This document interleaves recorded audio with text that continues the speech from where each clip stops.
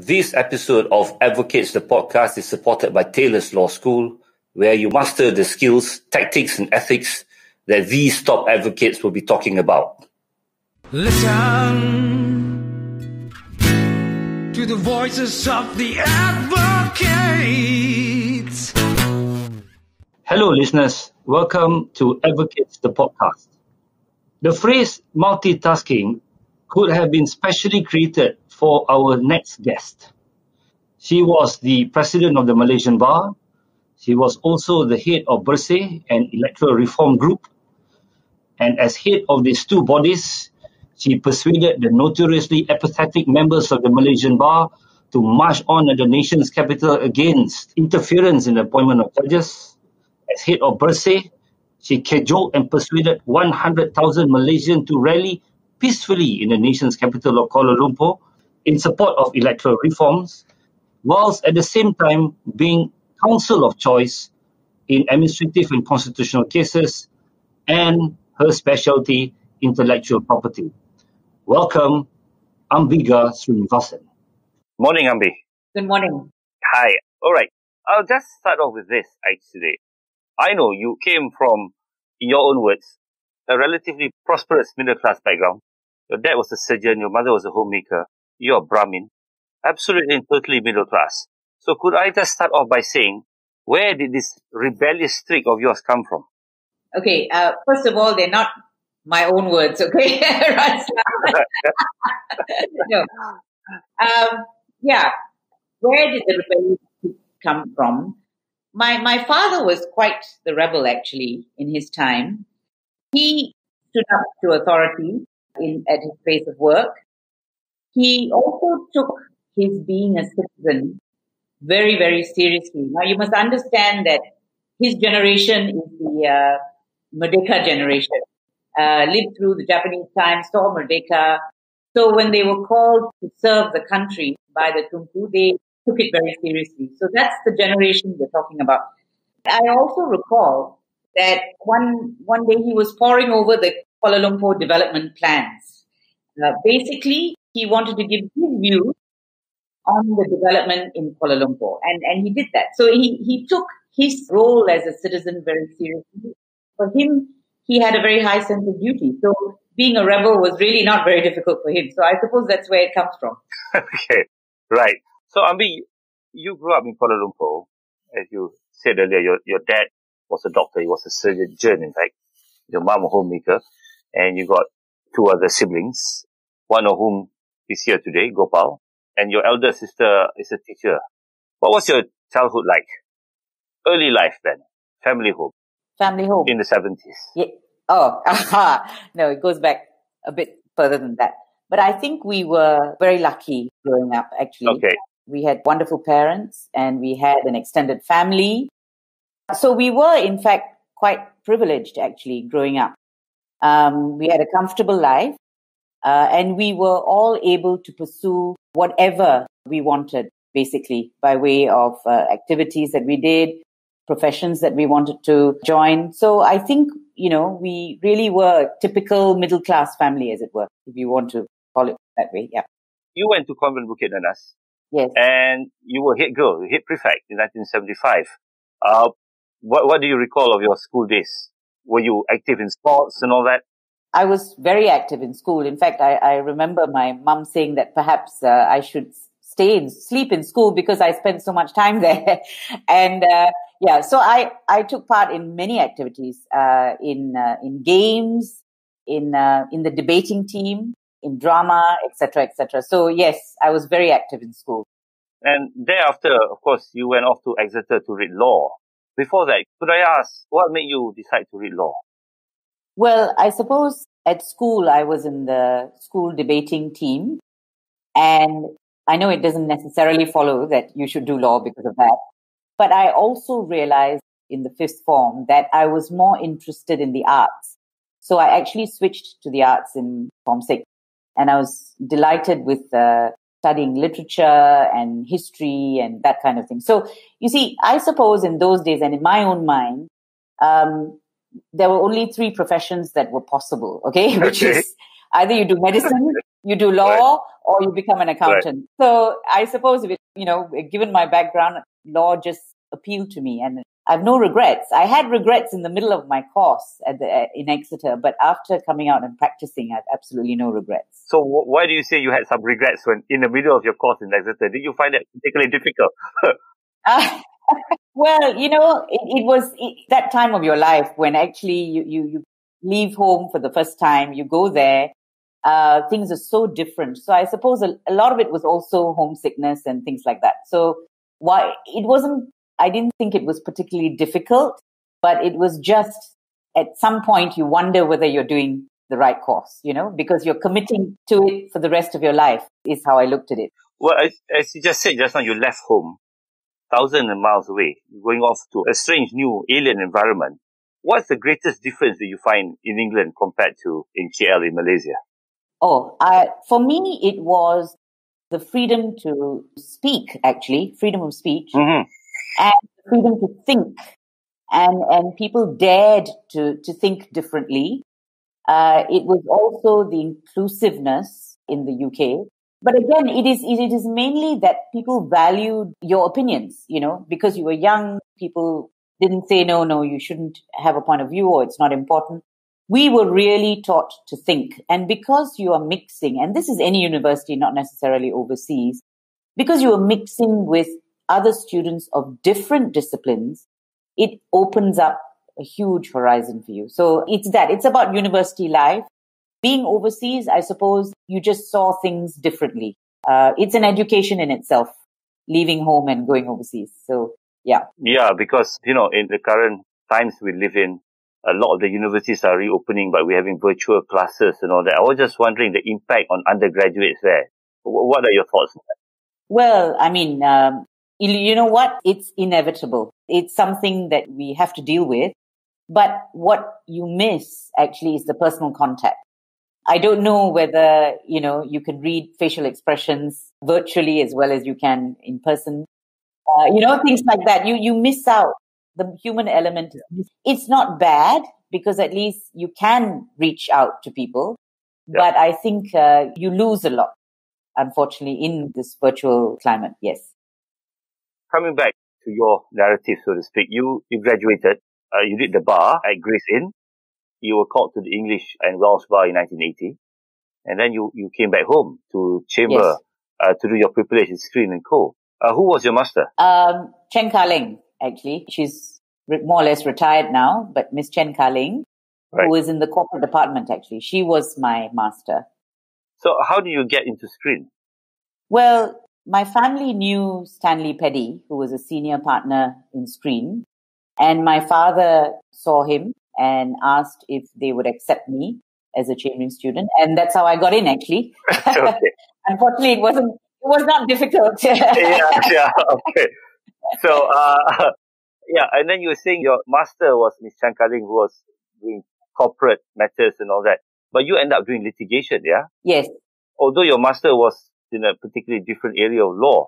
How did that work? Well, you know, we were getting briefs from all the partners in Skrine. Mm-hmm. And I was very lucky at that time because we had some excellent up and coming uh, litigators in the firm. Tommy Thomas was there, Vinayak Pradhan, uh, and there were so many who were ready to use us and, and to give us work, you know. So litigation was always what I wanted to do. There was no doubt in my mind about that. All right. So as a young lawyer, you started off, you went to courts. So you, you started at the very bottom, at the magistrate's court, or you straight away was sent to do high court matters and all that? Okay, I started at the magistrate's court. Right. okay. And, uh, and I started in the industrial court. And, oh, I see. Uh, okay. Those are amazing experiences because in the lower courts, people shouldn't look down on the lower court, by the way, because that's where you get your trial experience. Mm-hmm. Uh, almost immediately, I got trial experience in, in the industrial court and uh, and I did some family work. Let me tell you. And the the good thing about that is I don't do it anymore. But the good thing about that is I got immediate access to the High Court ah. to do trials and to do hearings and to do applications. So that was quite a mixed bag for me. Of course, I did the run of the mill commercial cases as well. But I do recall that in my fourth year as a legal assistant, Tommy Thomas, who was a partner and he who was busy in uh, doing the Bank Bumiputra case. He threw a file at me and said, this is a federal court matter, go and argue it. Fourth year, okay? okay. Now, I wasn't going to say no. No way was I going to say no. So I said yes. And of course, I was absolutely petrified for the next few days preparing for that. But of course, the good thing is it, it wasn't such a strong case. And it was just, uh, sometimes it's good to start on not so strong cases because then if you lose, you don't feel so bad.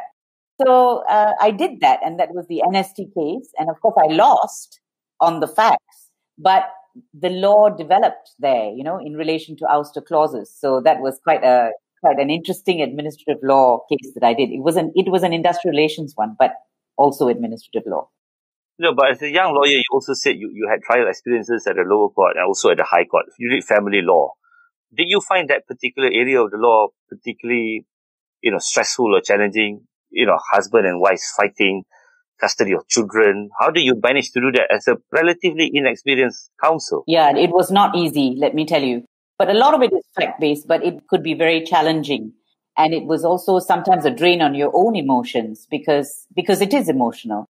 And, and I recall in one instance, it was a very bitter fight between husband and wife. And I actually got threats at home. Uh, my father got a phone call and uh, the husband was threatened, threatened me and said, you know, basically, I'm going to throw her into the Klang River or something like that.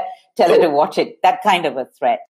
Um, but I remember that when we went to court, so the minute that happened, I got a senior partner in and I said, look, you better do this. So when the matter came up for hearing, it was reported to the court that this is what had happened. And I remember Justice L.C. Vohrah, and he gave the husband such a dressing down, actually. So it, it, it, it isn't unusual. Huh? But the courts are very tough on situations like that and protective of the legal profession if any of those things happen. So that was one of the things. So anyway, yes, you're right. It can be very, very draining emotionally. And after a while, I pulled out of family law, I think probably for that very reason. okay, right. Because I was just going through your biography. You then actually end up doing intellectual property, which I think at that time was a fairly new area of the law. So how did Ambiga Sreenevasan, civil lawyer, so to speak, end up doing intellectual property? Seems to be like a dry area of law for me, to be honest. Oh, it's not. You know, being in a big firm, obviously we had several departments. Okay. You right. have the corporate, you have the uh, banking department and litigation and so on. So intellectual property was a department in itself. And within that, you had, okay, you had all the registration and that's the dry area, Razlan, the right. registrations and so on and so on, so forth. But there was also a growing need for a intellectual property litigator. So that's where I came into the picture. I said, right, why not? Let me, let me try this, you know? And I tell you, intellectual property is a vast area, okay? There's intellectual property from a pin to a spaceship, okay? The intellectual property rights can be engaged at every level. And, and in fact, I, I was delighted to learn about the best kept trade secret, which is the Coca-Cola recipe, by the way. So these are the things. So that's confidential information. Okay. That's another area of law. That's not dry. Okay. Razlan, that's not dry. Actually, hang on, hang on, hang on. Uh, sorry, I got to explore this. Are you telling me you know the Coca-Cola recipe? Of course not. It's the best kept trade secret. No one except for very few know it. So, but there you are. That's another area of law, you see, that's related. Confidential information and trade secrets and so on. Formula and stuff like that. Patents. So quite a vast area. I have no regrets doing uh, intellectual property. I still do, but yes. I also do other, other work, of course. Of course. Uh, and we'll talk about that a bit later.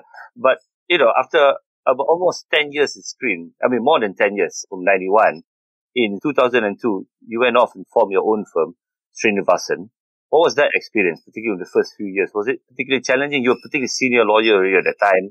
So I suppose you had your pool of clients. Really? Yes, it was. Of course, it's always a challenge, but it's something completely new. Uh, it is very different from a large firm. I remember in the firm that I was in in Skrine, you could have partners meetings that run into hours, okay, sometimes because there's so many things to, so many things to deal with. In a small firm, it takes two minutes, especially if you have just one other partner. You walk into a room, which I used to do, and then we say, like, shall we do it this way? So Right. your time spent on your work, I think, is possibly a lot more than, you know, in, in a large firm. Of course, now large firms have different ways of operating, so that may not be true anymore. It very challenging, very challenging to persuade clients that you, you know, that, that you don't need the big firm backing because in those days, the big firms, you know, uh, people trusted because they felt that they had the resources and the backing and so on. So when you're on your own, trying to run more of a counsel type practice, then of course that's not so difficult. But then there is reliance, of course, on solicitors. More of a reliance on solicitors to give you briefs because you want to do more of a counsel type practice. Uh, that was what uh, we wanted to be. So although we do some solicitors work, it's mainly, you know, a counsel type practice, a boot, what they call, I don't like the word very much. Don't get me wrong, a boutique. At that time, a boutique firm. Okay. so, and that seems to have, that seems to have taken root actually. I, I can see quite a lot of that going on. Yeah. Yes, I think so. I don't know whether these firms are really boutique or not, but they like to describe themselves as such. Yes. You know? Okay. I've got to just slightly pivot now to a different aspect of your advocacy in non-governmental work because I read an interview you had with the New York Times where you said you do not describe yourself as an activist. You said, I think I am an advocate for a cause. And of course, famously, you are, you was the leader of Bersih, the coalition of non-governmental organizations asking for electoral reforms in our country. You were also president of Malaysian Bar for two years in 2007, 2009. And all these things that happened during your presidency and during your leadership of Bersih. And I'm just wondering here, coming back to that quote, how is your experience as an advocate, I suppose, prepared you or results in you approaching that particular role as president of the Malaysian Bar and as leader of, of Bersih? Okay, there are two different kinds of advocacy completely. I call the Bersih advocacy street advocacy. Okay. Okay. Right. And it's this. But don't get me wrong. My experience as an advocate, my experience in formulating arguments based on fact and law is what truly, truly informed the way I led Bersih and helped. Because when you argue on facts and the law, then it is very difficult for your detractors to attack you. And I realize that that is important. And I, I hope that was something I brought into the activism of Bersih. Now, street advocacy, as I call it, is different because very often when you're speaking to those at the rally, you're speaking to the converted. So you have to be punchy, you have to be short, you have to be crystal clear and extremely simple and straightforward. You cannot speak to 100,000 people and, and talk about law and the, you know, the constitution necessarily and so on, unless it's in, uh, you know, soundbite. But it is still a matter of persuasion because you also want to persuade the detractors. You want to bring more people on board with your cause. So there is an art to that persuasion. So I did find that, okay, on the streets is a different form of advocacy. Doing interviews, you have to be much more welcoming, you know, in the way you put forward your ideas, because the idea is to bring more people on board. So th- that is the difference between the two types of advocacy, I suppose, uh, with some clear similarities. I see. So when you led the, Malaysian Bar from March 2007 to March 2009, I mean, I suppose one of the most seminal moments in the long history of the Malaysian Bar is the Walk for Justice, which you organized 5,600, 5 to 6,000 of us walking through the streets of Putrajaya, protesting against a video clip that showed a, a lawyer brokering the appointment of a judge. That is a sight I will never forget, seeing 5,000, 6,000 lawyers all dressed up in suits, walking in the sweltering tropical heat of Malaysia. And after that, being faced with one of the most massive thunderstorms ever that I can recall, and all of us were drenched. So what made you decide, you know, when you saw that clip, enough is enough.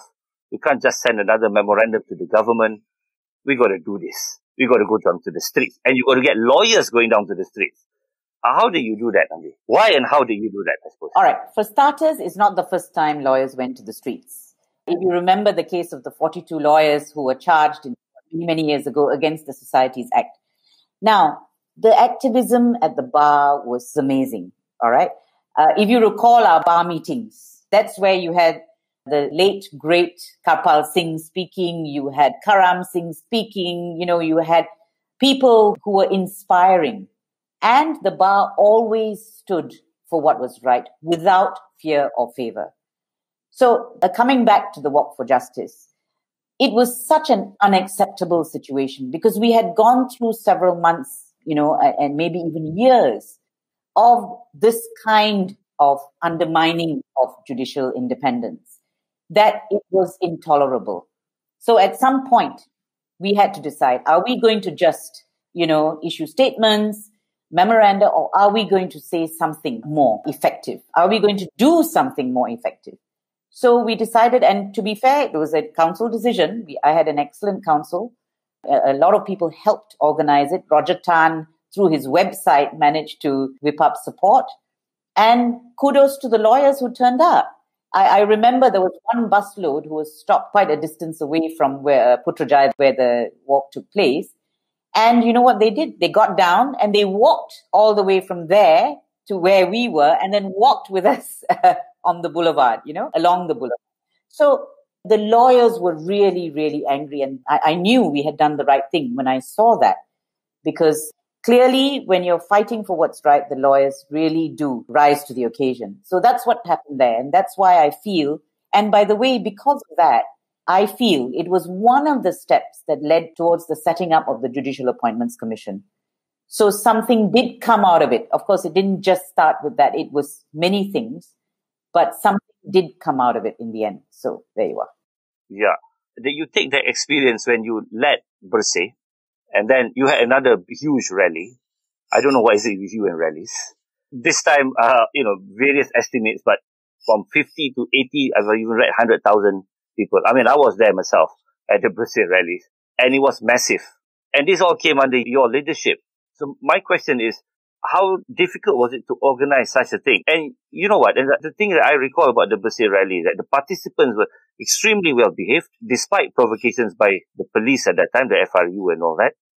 But under your leadership, you could then make sure the Joe public goes to these rallies, and we were not used to rallies at that time, and most of us behaved.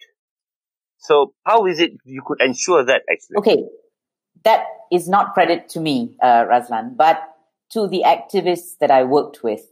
Uh, Maria, by the way, was instrumental. Maria Chin Abdullah was instrumental in uh, organizing. They were used to doing that. Huh? They did the first Bersih. I was not part of the first Bersih. I came in for the second rally.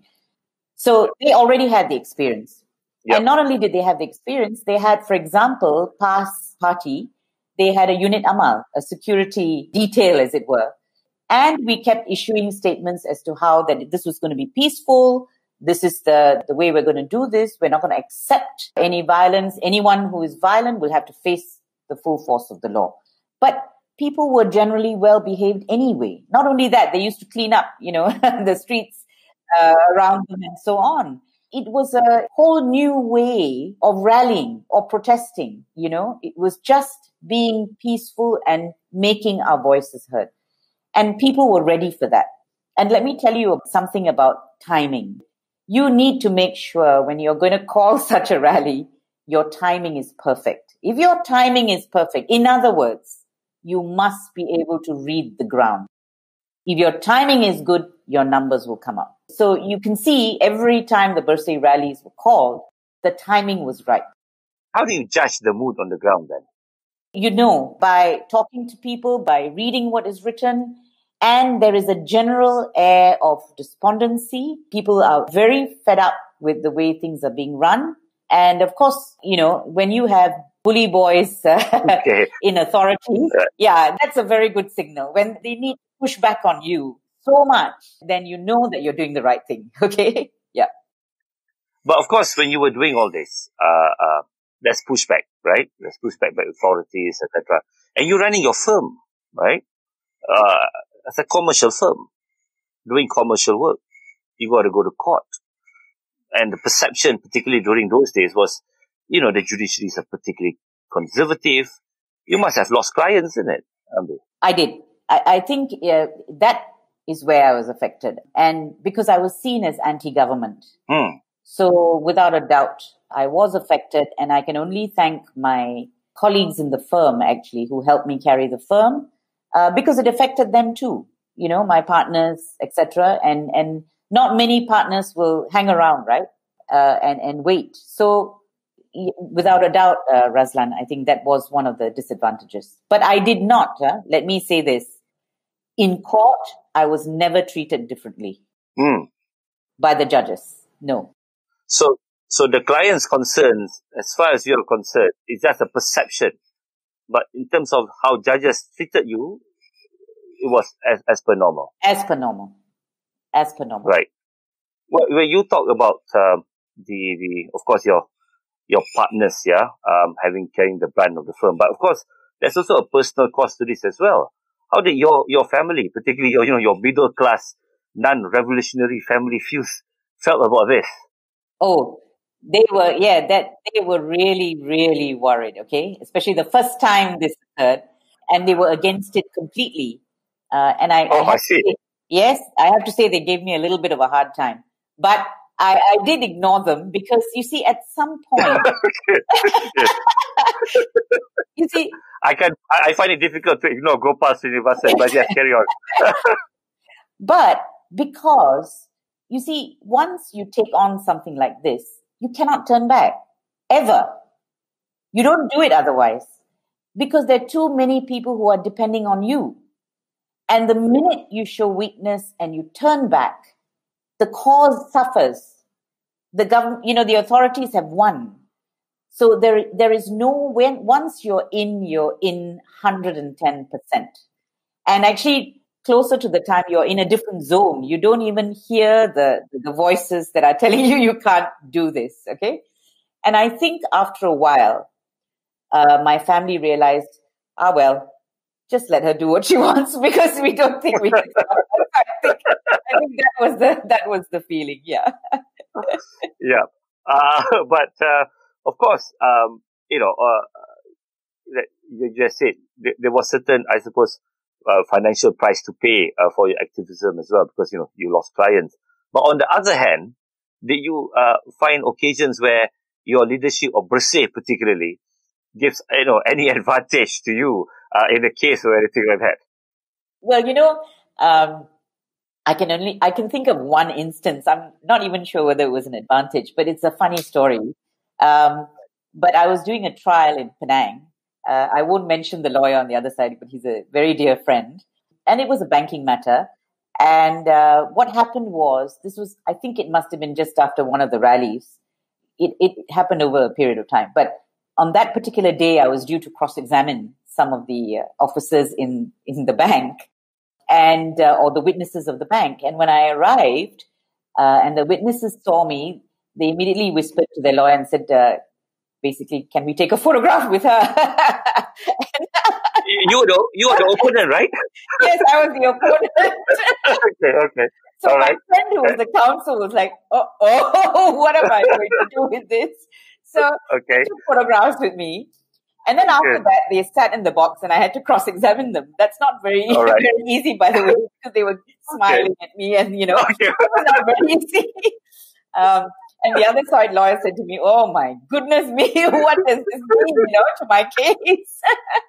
so that was one of the delightful moments. Okay, and uh, yeah, so it was it was fine. I mean, it, it proceeded, but that's one of the ways in which I suppose it affected some of my trials. But uh, yeah, Positively, positively. Did, did, did, positively. did Yeah. they set, did they settle the case with you then? No, no, they didn't. They didn't. No, no, no.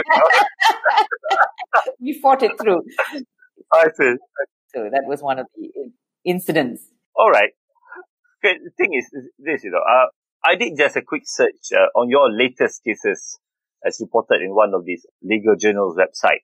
He ran the whole gamut from contract damages as to commission claims, judicial review when you're acting for trade union. There were some trust cases.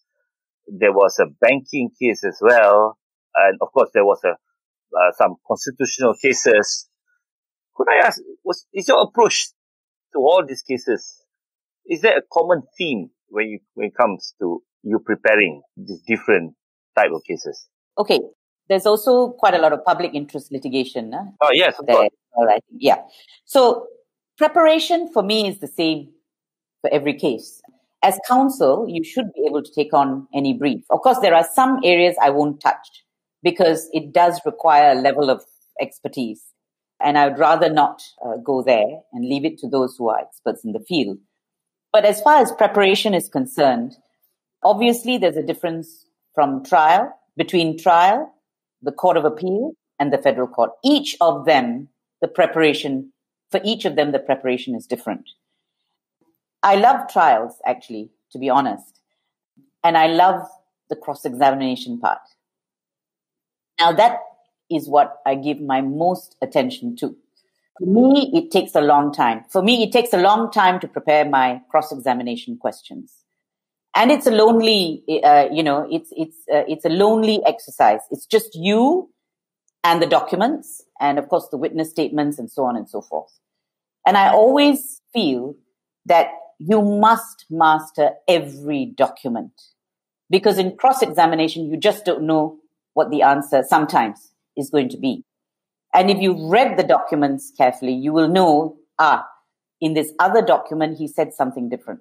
And then you can come to the witness. So there is no substitute for knowing every single document when you do a trial. Well, actually, when you do any case, whether it's Court of Appeal or Federal Court, but in a trial particularly, and particularly for cross-examination. So, it, yeah, sorry, in, in a trial context that when you prepare, do you actually prepare a set of questions or do you have particular just, you know, for this witness, these are the areas I'm going to touch on and you just have, you know, a general area? Okay. What I do is, for me, the areas are more important than, than the actual questions right. that you ask because I do write down questions, but very often I find when I'm on my feet, I change them. Hmm. I change them. Oh, so for me, the, the, the, the, what is important are the areas because I will never miss those. Those have to be in big block letters. Okay. okay. Then right. your questions. Right. You right. see, it never. When you prepare, over prepare on questions, and I'm saying I'm not saying don't do it. Please do it. I do it as well, but be prepared to change it around because of the way the, the responses come, because of the way you know that that you think the point should be made. So that happens to me. It may not happen to anyone else, but that's how I do it under clear headings as to different areas. And, and honestly, before you start any case, whether it is trial, it is court of appeal or federal court, it is a really good idea after you've read all the documents to put your things down and to think. Think about the case because for the court of appeal, all right, for example, you need an angle. What is it that is going to capture the minds of the judges so that they are interested in your appeal? And of course, federal court is even more difficult, right? Right. So thinking is a vital part of that process. And, and you can think when you're having a shower, whatever it is, or you can think in your room when it's quiet, but think about the file. Think about the case and how you're going to pitch it so that it captures the imagination of the bench. So in your case, it's not really a method, you know, I mean, of course, there's the hard work of preparing, but the way I hear you answer, uh, Ambi, it's not a really, a, it's not just a mechanistic approach. You, whilst you're preparing, at the back of your mind, I think you are also thinking, what is the angle? How do I pitch it? You know, where am I coming from? So on and so forth. I mean, all right frankly, that, that must be really tiring, isn't it? Not really, because you see, I'm a big believer in the subconscious mind. Okay. Okay. All right. Which is why you need, you cannot prepare just the day before. Oh, you course. actually, yeah. Need, yeah, you actually need to absorb it. Right. And to, and, and I'm not saying, of course, I, that I, that hasn't happened to me. Okay. But I'm right. just saying, ideally, you need to absorb it, and then you find your mind all right, churning it around, and you're coming up with new ideas. And suddenly you say, ah, I should actually look at this. Ah, I should look at that. Mm. So I don't think that's tiring. I think that is your mind uh, working, right. and, and, you can't your mind working. Yeah.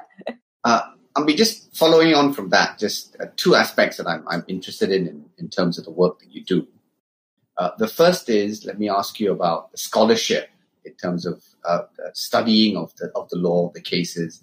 Does that is that a big factor in the way you prepare, or are your case do your cases tend to be very fact based and the law is pretty much settled and tried? So that's the first first question.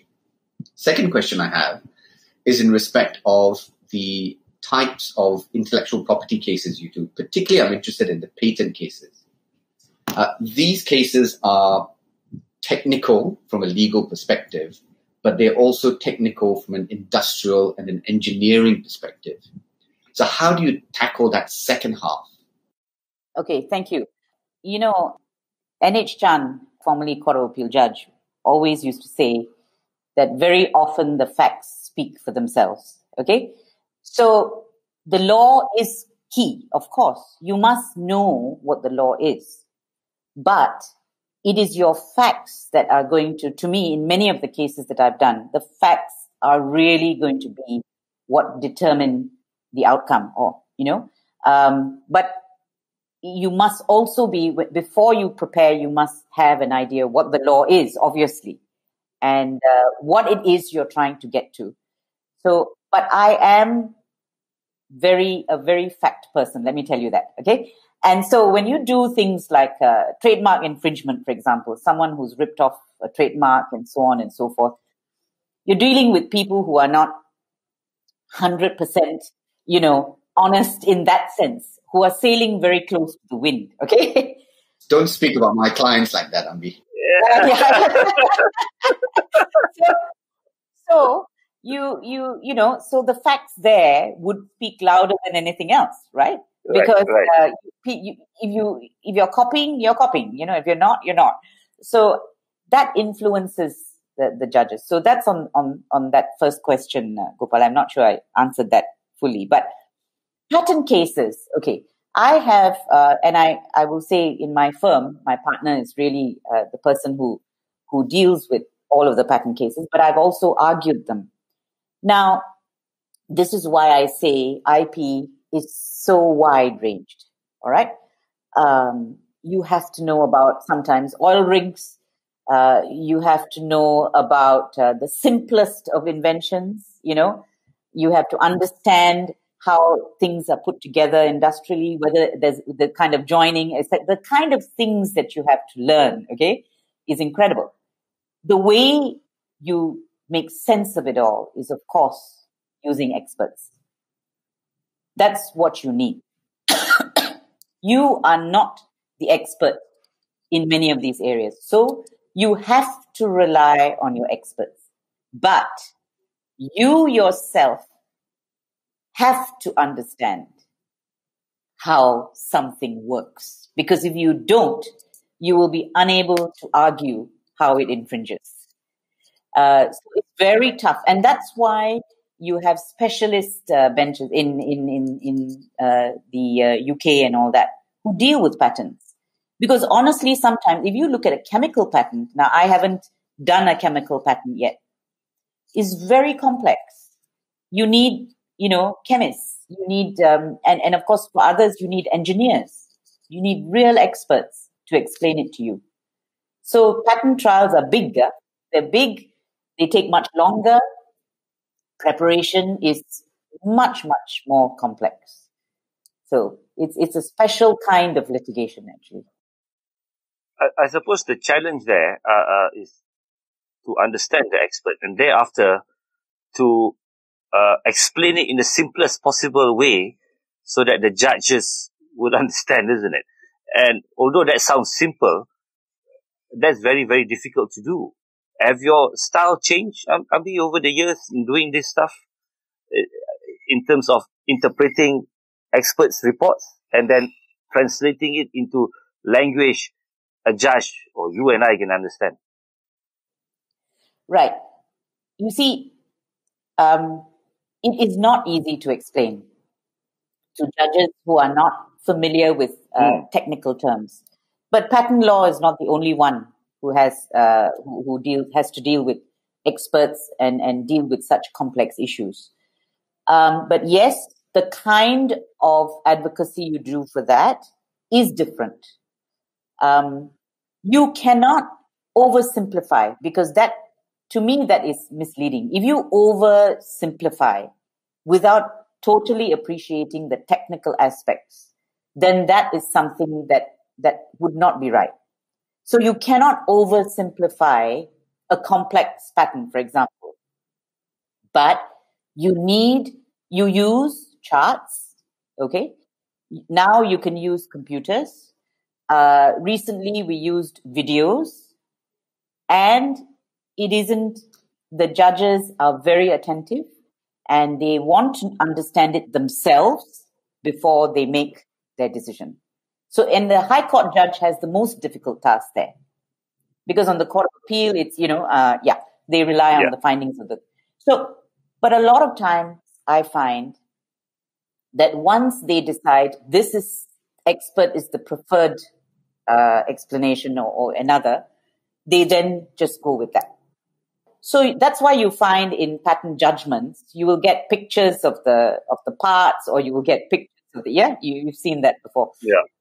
So you you've been doing this for almost forty years now, and you just said earlier, particular areas that you love most is, is you know trial work, and I'm just thinking of the old adage of never ask a question you don't know the answer to.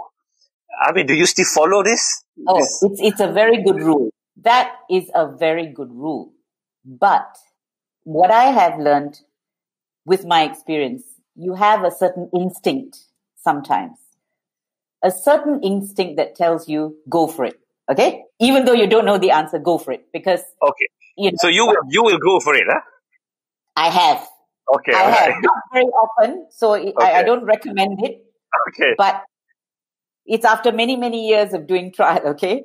Okay. uh, you do get an instinct that sometimes you go for it. And actually, it has been quite successful. And I haven't done it often. Let me also say that. Has it uh, uh, actually turned back and returned you back? no, actually, it, it Oh, worked. okay. Uh, in right. the couple of, yeah, in the few instances that I did. So, yes. But again, as I say, it's your instinct as a trial lawyer. You know, you know that you're just there at that, at that moment Yeah. and you've got to Yeah. make a snap decision whether you're going to push it one step further. And most of the time, you should not. Um, so I would leave it to to each lawyer to determine when that's the right time. Sorry, Razlan. Let me just quote from uh, David Maxwell Fyfe, who is the British prosecutor in um, the Nuremberg war crimes trials. Okay.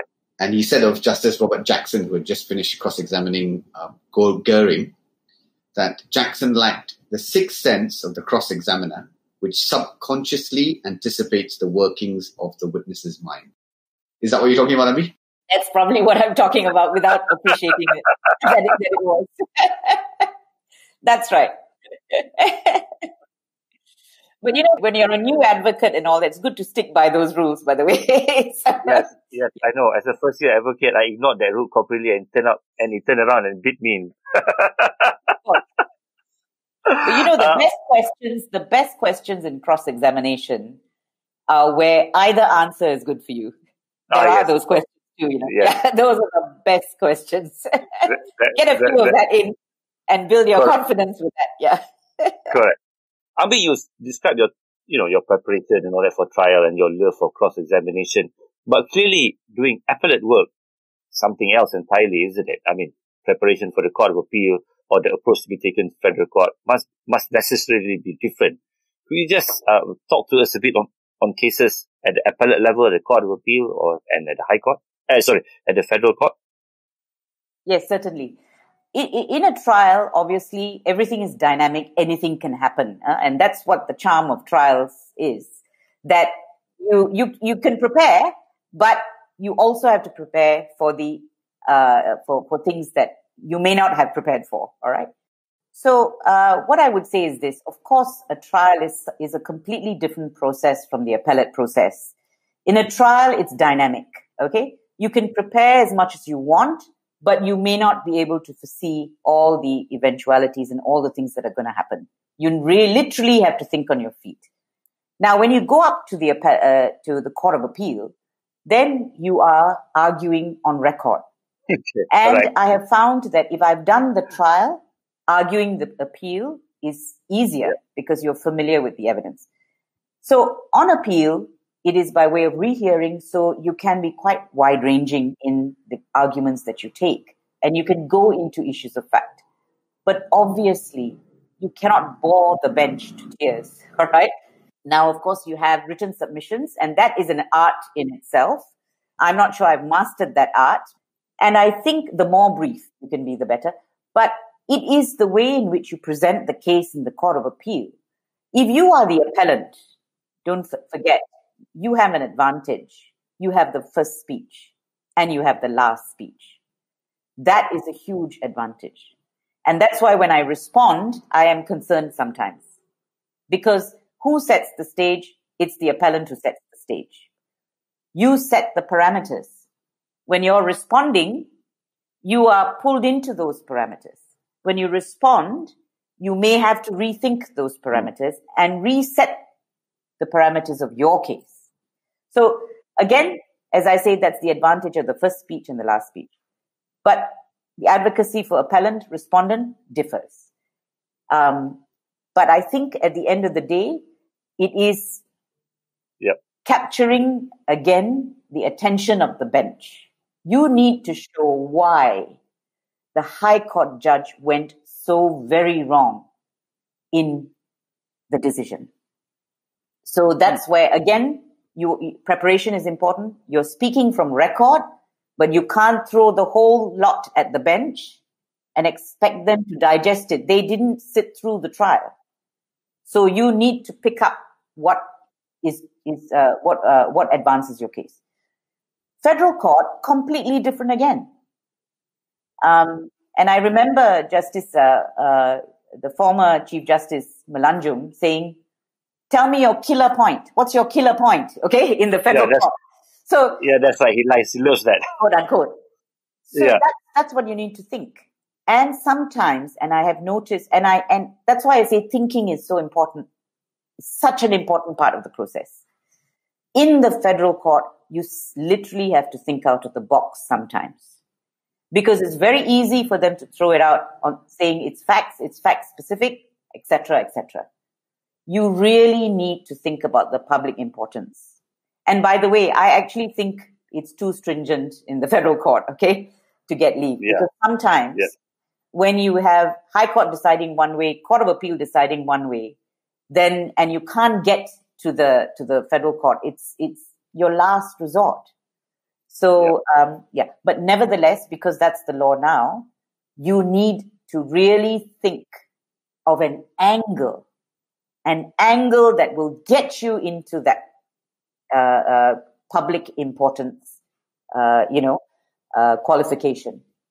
And you need to have more so than in the Court of Appeal, an angle which immediately makes the bench sit up and think, ah, yeah, there is some injustice here. There is some issue here that needs further ventilation. So for you, so you, that's how your, your, your submissions have to go. Uh, I mean, I'm not saying that I manage to do it every single time, but it is in my mind when I approach these cases. So that would mean basically the first 45 seconds or one minute of your speech, that is the hook. That's if the hook. you can get them interested, then, then of course you can then start to That's develop right. your argument. That's right. It's the hook. So do you, do you personally spend a lot of time perfecting the hook, so to speak. Yes, I do think about it a lot. And I, but as I say, I don't know if I succeed every time, but I yeah, of course. think about it a lot. And that's why you can never assume that your approach in each of the courts is the same. It's not. Hmm. Yeah. Well, of course, you can't talk about, I suppose, judges who's who's who's around yet.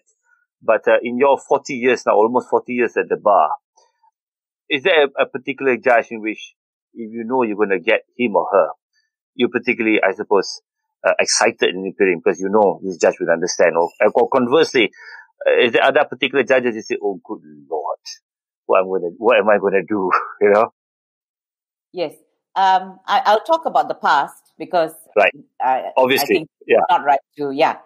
But look, I was one. I was lucky enough to appear before uh, the late, great Eusoffe Abdoolcader, and of course, the late, great Sultan Azlan Shah. So they were real giants, okay? And Eusoffe Abdoolcader would, you would be petrified to appear before him. But you knew that he knew his brief and that the questions he asked you were fair questions. I mean, he would put you down, but it was exciting to appear before judges who would actually challenge you. Right. So they were the judges. And of course, in the High Court, as a junior uh, lawyer, we used to be petrified of Justice Razak, you know, Okay. uh, Right. tough, tough judge. That's your, that's your Um, client, isn't it? Yes, that's right. And, and, and also Justice Tan Sri BC George. Not, Oh. not that you were afraid, but it's a, it was a pleasure to appear before him. And I remember one sto- once when I went before him, I was very junior, arguing an injunction. And I was wrestling with my authorities and I said the case of, and he said, he, he obviously noticed because it was in chambers. He said, you are not going to cite American Cyanamid to me. Are you, Mr. Nivasan? He said, and I quickly closed. I said, no, I'm not.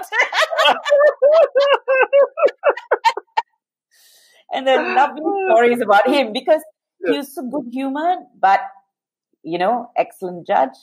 Some people and Justice Harun, born judges, you know, they were born, right. they had a temperament that was so judge-like. I, I don't know how to put it any other way. So, Yeah. so I had some wonderful moments. Yes.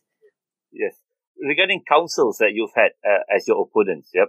Was there any a particular person who's who, who you felt was particularly tough, you know, and, and you say, you know, I, I really don't want to go against this this this person or that person. okay, I, I've never felt that I didn't want to go against anyone. My my starting point is you don't underestimate anyone, Mhm. whether they are junior or they're senior. I never underestimate my opponent ever. But you had opponents like, and of course, uh, again the late great uh, Karpal Singh, who who never did didn't do much, um, uh, many civil cases, but the Right. occasions when I've appeared against him and I've watched him in court, he has such a way with the judges. Okay, everything he he knows how to make a complex point appear simple. They're the ones that I worry about. Okay, because they reach the judges so quickly. All right. And they capture the imagination of the judges so quickly. So for you to then bring them back to your point of view. Yeah, yeah, yeah. the other one was uh, K.S. Narayanan, one of the, Ah. again, the most complex point of law. He makes it so simple, you know. Uh, so those were the people that, that I would say were not easy to appear against because they enjoyed the confidence of the bench. And, and, and this is the thing about preparation again, okay? I was talking about that earlier. The one thing you must build is trust with the bench to a point where when you say this is the law, they accept it because it's coming from you. Or if you say this is wrong, they accept it. Or these are the facts, they accept it. Of course, you make mistakes. And if you make mistakes, apologize immediately because we're human. We're bound to make mistakes. But when you build up that trust, and that is what people like Karpal Singh and, and, and others had. So they build up this trust with the bench. And that is what we must seek to do from day one. From day one. You do not mislead on cases. You do not mislead on facts. If you make a mistake, which is human, you apologize. For me, that is absolutely critical to build up a career at the bar. Uh, Gopal, you have anything to add? I do. I've uh, just got a few questions, Abhi. Um, let me ask you about lawyers you've worked with or lawyers you've worked against. Who, what would be, who would be the one name you would cite as the person who inspired you? Okay, that's, uh, I have to think about that. Oops, you got to give me a No minute problem. on that. Take I- time. No, there are there are a few actually. As I said, Karpal. Well, the one who truly inspired me, uh, Gopal, would be Raja Aziz. Okay, Raja Aziz, who never overstated a principle, passionate about what was right, a wonderful leader at the bar. So he was, to me, the complete package. Always straightforward with the bench, always had the respect of the bench he inspired a lot of what I learned. You know, he inspired a lot of how I, the kind of lawyer I became. He would be one of them, definitely. And he would be the person I think I would name as the person who inspired me. And continues to inspire me, by the way, because I know I still say, and I think I have said it to you, Goops, what would Raja Aziz do in a situation like this? When I ask that question, it's his name I use yeah. And and can I just say you're not the only interviewee Yeah. who has um, cited Yeah. him as uh, in that context. Yes. well, in that there you are. Let me now turn to your your advocacy in the streets, as you as you call it. That's led to a number of opportunities that you've you've had, including uh, meeting politicians internationally. Uh, you've met presidents of the United States, you've met secretaries of state, you've met prime ministers. Who stood out for you amongst those that group of people, of politicians? Who stood out for you? Okay, I didn't meet presidents actually. I met the Secretary of State, of course, the U.S. Secretary of State. I thought you met you, you met Obama, President Obama, haven't you? No, uh, uh, President. Oh, sorry, yes. Yes, Here in Kuala Lumpur, I that's have. right. Yes. Yeah, yeah. So who who stood out of of the leaders that I met?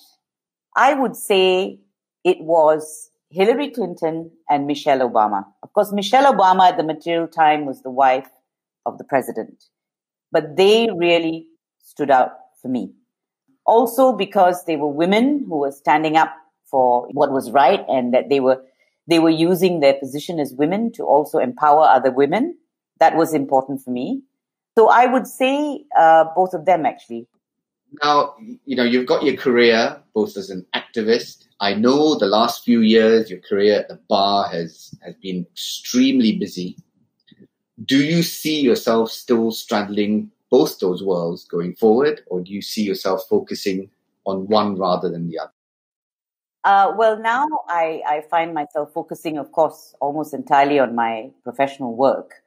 But being me, I can't also stay out of what's going on in the country because, you see, having been bitten by the bug uh, many years ago and having been part of a very small part of the process of change, which was actually you attribute to the people, uh, and having been amongst Malaysians of all walks of life who are so passionate about this country, it is difficult not to be still interested in what's going on, you know, in the politics of the country.